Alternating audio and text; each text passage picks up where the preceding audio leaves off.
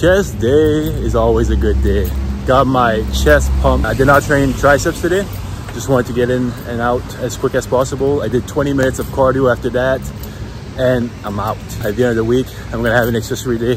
I'm gonna do some triceps, a little bit of traps, and some calves as well. I hope you enjoyed this video. Thank you for watching starting off this bench session or chest session with some bench press right here.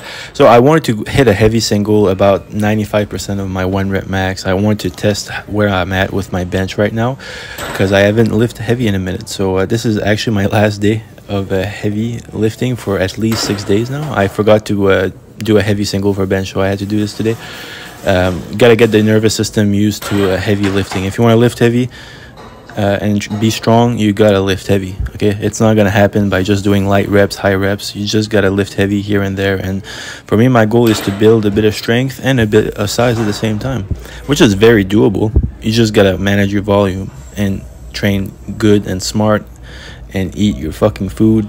Sleep a lot, drink your water, take your creatine monohydrate, and just do all the right things. You know, um, it's very doable you just got to put in the effort, the work, and be very, very disciplined with your training and your technique and uh, what food you put in yourself. Because if you eat terrible food all the time, it'll probably make your recovery slower. But if you eat pretty good most of the time, it'll make your recovery faster. And if you sleep a good like six to nine hours on average, your testosterone levels will be higher naturally. Uh, you gotta just do all the right things, you know uh, you only see a, a, small fraction of what I'm doing. Uh, but outside of the gym, uh, I like to uh, to try to do every single thing right to uh, make sure I recover as fast as possible in between sessions.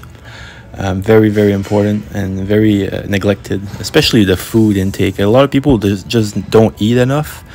it's just not gonna happen. If you want to get stronger, how do you expect to get stronger or get some size on if you don't eat enough. You just gotta eat, man. Calories in versus calories out. Where are you gonna take your energy from if you don't eat enough? You know what I'm saying?